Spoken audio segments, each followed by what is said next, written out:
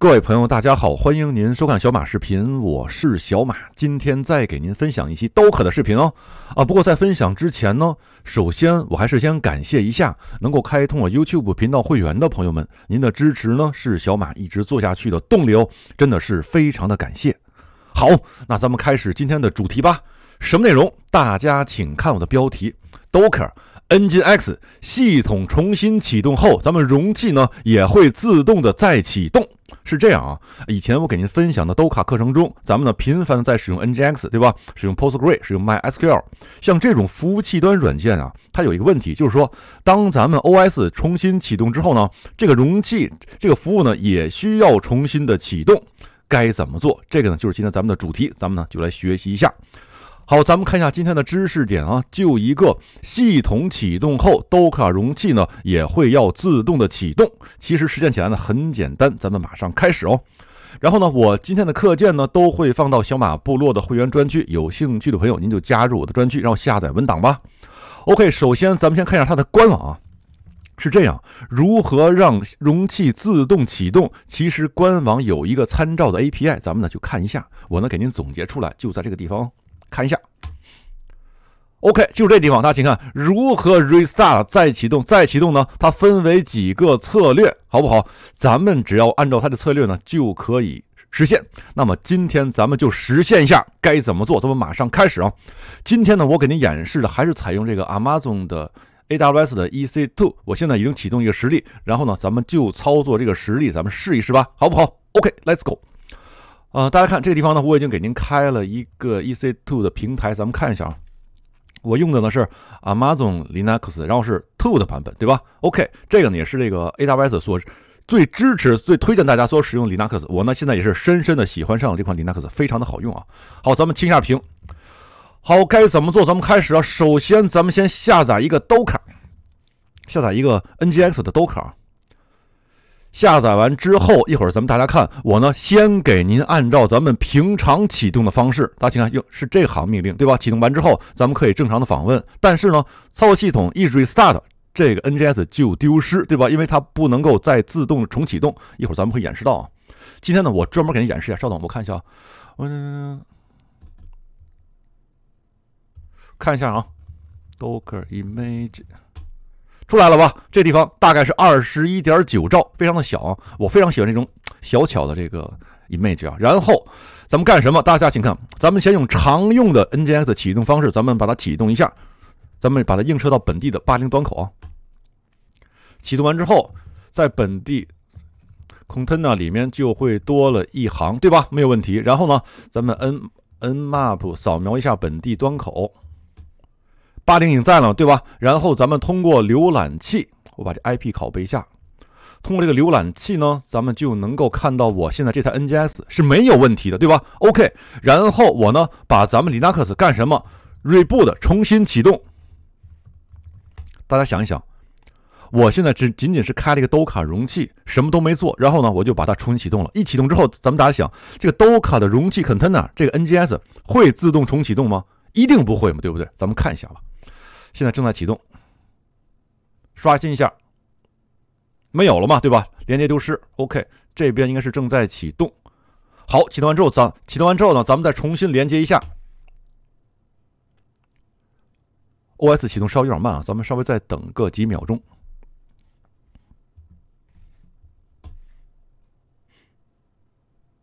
哎，难道说 IP 变了？因为我绑的不是这个 Elex 的 IP 啊，我看看，二四九零点二零四。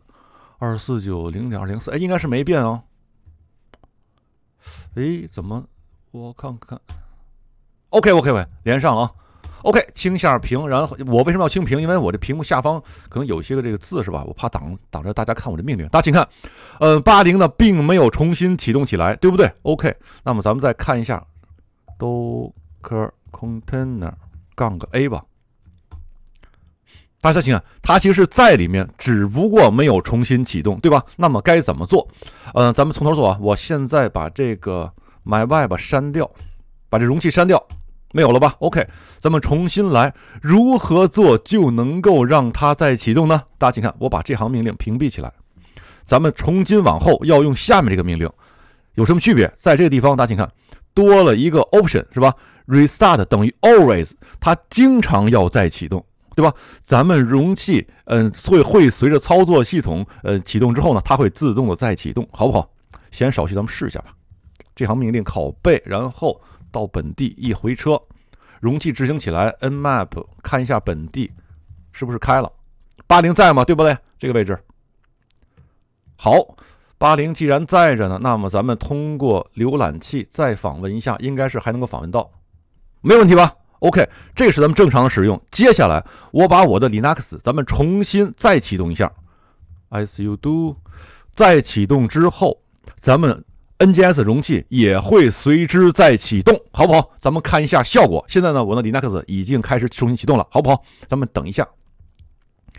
这样的话呢，就完成了。怎么说？咱们比如说部署一个网站，对吧？部署完网站之后呢，但是因为咱们 OS 呢经常维护有些包更新，不管您是用哪款，用这个 Ubuntu，用这个 CentOS，还是用这个 Amazon 的 Linux，对吧？它都要有系统包更新，频繁的更新。那么系统呢，经常会需要 restart。那么系统 restart 之后，咱们容器也会跟着自动的 restart，对不对？哎，非常适合用于生产环境嘛，对不对？OK，看一下是不是我这已经启动完成了。OS 嘛，启动稍微有点慢，这个也是正常的啊。清一下屏再来。哎呀，自从做做课件，我就喜欢了这个清屏。然后咱们再清屏，用 nmap，大家能看到啊，在屏幕最上方。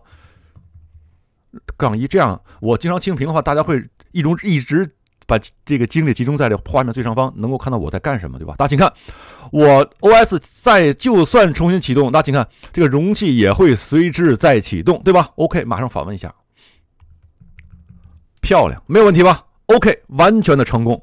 那么您通过这个 Restart Always 就能够实现单个容器的再启动，好不好？这是一个非常重要的知识点，推荐给大家。但是还不算完，为什么？因为啊，稍等，我先清下屏啊。因为有有好有好多朋友，他们都是在用。我想稍等，我我先把这个停掉，My Web，然后把它删掉，养成一个好习惯，先 Stop，然后再删啊，然后再看它一下，没有了，对吧？OK，是这样，因为咱们有好好多朋友不是直接用这个镜像，而是用。Docker Compose 的方式，那么用这个方式能不能够实现再启动呢？完全没有问题。大家看这个地方，在您的这个 Docker Compose 里面这个 YAML 里面配置一下这一句就可以，Reset 等于 Always 就能够实现咱们刚才同样的效果。我马上给您实现一下，咱们试一试啊。我本地建一个 Compose 点 YML，这个咱们怎么念 YML？就叫 YML 是吧？日语叫 YAML，有点不好听是吧？哎，稍等，嗯，咱们 Nano 这么一个。Docker YML 是吧？OK，咱们拷贝上我给您准备的这段代码，没问题吧？利用这个 NGS 最稳定版的 Alpha，咱们已经下载了，对吧？然后映射八零端口，同时如果 OS 重新启动的话，它也要跟着随之重新启动，好不好？OK，试一下，拷贝过来，存盘退出，然后咱们编译一下这个 YAML YML，编译一下。哇，这个这个 OK。然后，咱们使用这个命令干什么？先本地启动一下，好不好？OK，这个是做精灵线程的启动，正在启动，而且而且现在是启动完成。咱们在 nmap 看一下本地，八零在了吧？OK，没有问题。然后咱们再通过 browser 访问一下，这是没有问题的，对不对？OK，接下来咱们稍等啊，咱们先给您再看一下这个 Docker Compose 里面的容器的内容。对吧？咱们请看，咱们是这个服务，然后呢，启动进入进入点正在启动，然后呢，内部八零呢映射到外部八零，这都没有问题，对吧？接下来咱们就要做系统的重新启动，好不好？因为这这个 Docker Compose 跟 Docker 差不多啊，所以说我这个地方给您演示就快一些，好不好？OK，现在呢，Linux OS 呢已经重新启动当中，启动完之后，启动完之后，如果咱们能够看到它的话，就说明咱们的设置完全的成功。现在大家大家请看，我在访问这个网址的时候，这在转嘛，说明呢已经找不到这台服务器了，对吧？一会儿呢就会报错，因为报错了吧？OK，等这个服务器重新启动起来之后，现在正在启动啊。估计大概花个三十秒钟，是吧？启动完之后呢，咱们这地方就会自动又会显示出来，完全的没有问题啊。咱们再看一下，我看启动起来没有？还需要再等一小会儿啊。是这样，今后呢，我可能这个课程啊会。花一部分精力呢，要给您做 Docker 的课程，是因为今后我给您讲 AWS 的时候，有好多的技术呢都会用到 Docker，而我现在也希望呢，把今后这个部署方向是以容器部署，这样呢，便于咱们这个部署应用程序时候的这个版本的管理非常的好，而且呢，呃，AWS 给又给咱们提供了一套非常完整的容器的解决方案，我今后呢都会做视频呢介绍给大家，好不好？OK，连上了啊，赶紧过来看一下，哎，大家请看。出来了吧？说明什么？说明今天我给您介绍的这两个知识点是完全的生效，没有问题吧？哎，这是这是两个非常重要的知识点，希望大家呢能够掌握，好不好？OK，以上呢就是今天给您分享的所有的内容了。我今天的课件呢都会放到我的 Discord 的会员专区，有兴趣的朋友您就下载一下吧。OK，那这期视频就给您分享到这里，感谢您的收看，咱们在今后的视频再见吧，拜拜。